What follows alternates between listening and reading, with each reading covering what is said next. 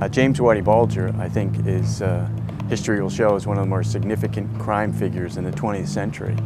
No single criminal has ever been able to corrupt the FBI to the extent that he did.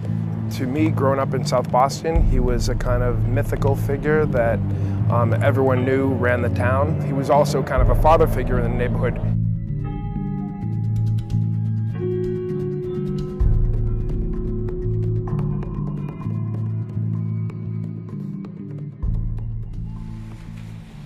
He's charged with a, a racketeering indictment, uh, of which there are over 30 so-called predicate acts, ranging from loan sharking, gambling, drug trafficking, extortion, and he's uh, accused of 19 murders. As Brian Kelly, the prosecutor, described at the openings, Whitey Bulger was a hands-on killer. He killed people himself. Whitey Bulger brought the FBI in Boston to its knees. He succeeded in enlisting and corrupting a band of FBI agents in Boston to serve him and protect him, to enable him in the late 70s to rise to underworld power, and then had his back during a reign of terror. There was an FBI national policy to take out La Cosa Nostra. And in that guise, they decided to make deals with criminals like Whitey Bulger, Irish American gangsters here in Boston. The problem with that is twofold. First of all, Whitey Bulger didn't know much about the mafia. Second of all, Whitey Bulger was as bad as anybody in the mafia. And South Boston is a player in this story.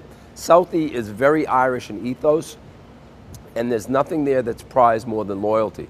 Loyalty to your family, loyalty to your friends, loyalty to your neighbors, and loyalty to your neighborhood. Uh, but when loyalty comes to mean that you can kill me in front of 100 people in a crowded bar and that nobody's going to speak up, then loyalty has become a bad thing. And that happened? That happened in our neighborhood for more than two decades now, the horrible truth is revealed is that he's a rat, uh, that he oversaw drug trafficking. Indeed, he's admitted in his, his opening argument that he made millions off of drugs. So the myth of Whitey Bulger has been exploded. He was indicted in, in, in early 1995 and he escaped uh, because his corrupt FBI agent handler, the key agent uh, who, who, you know, who was working with or for him, uh, tipped him off. The FBI in this case is an unindicted co-conspirator.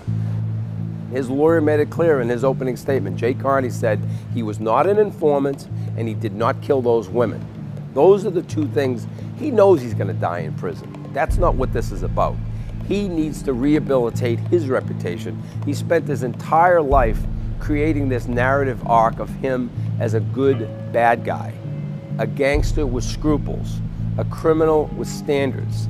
And a gangster with scruples does not turn on his friends and he does not murder defenseless women and bury them in shallow graves.